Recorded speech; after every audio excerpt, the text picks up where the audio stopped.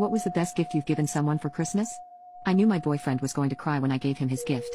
I have been with my boyfriend for a little over three years. My life changed in an unimaginable way when he entered it. He never failed to remind me that he thought about, loved, and adored me. The other day he made a passing comment that any experience he had ever had was always so much better if my presence was there. So, my boyfriend was a huge fan of Legos. He always bought smaller sets from Target and built them in his free time to relax. Anytime we went to the mall, he always wanted to walk around the Lego store just to marvel at the big sets. He could afford them, but he was the type not to spend money on himself. Every time we went in, I always caught him staring at the Star Wars Cantina set. He always talked about how one day, maybe he would muster up the courage to put the $400 down and fulfill his dream. But he wouldn't have to do that. I had just ordered it off the Lego website.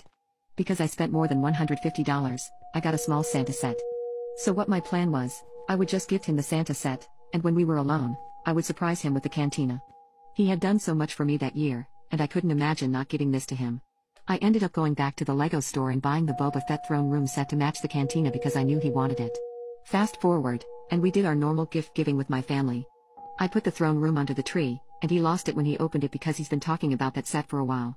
After everyone settled down after gift giving and started to eat and watch Christmas movies, I asked him if he could help me do something upstairs quickly. When we got upstairs, I told him I had forgotten to put something under the tree.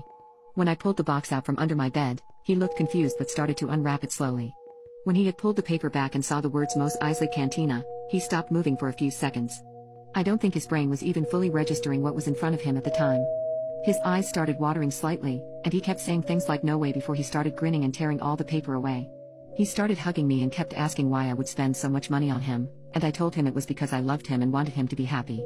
He went through a mixture of jumping in excitement, hugging me, and crying for a few minutes. He kept talking about his plans to clear out the shelf behind him and put it on display in his work background. He then surprised me by saying he had also not put something under the tree because he wanted to give it to me when we were alone. He wanted to have it be an intimate moment between the two of us. He went into the closet and was laughing about how he had put it on the top shelf because he knew I wouldn't be able to reach it or see it. When he came out, he was holding a tiny box, and when I opened it, there was a beautiful diamond necklace inside. I didn't know how to react, and I started crying like a baby. After he put it on me, we shared a nice moment together full of kisses and hugs. I told him that I purposely saved the points I got from buying the set so he could get $50 off his next LEGO set.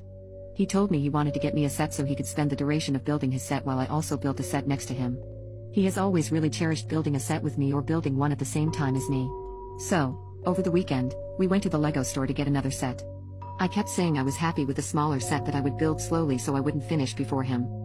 I felt so bad since he bought me a literal diamond necklace, but regardless, he insisted on getting me a big one.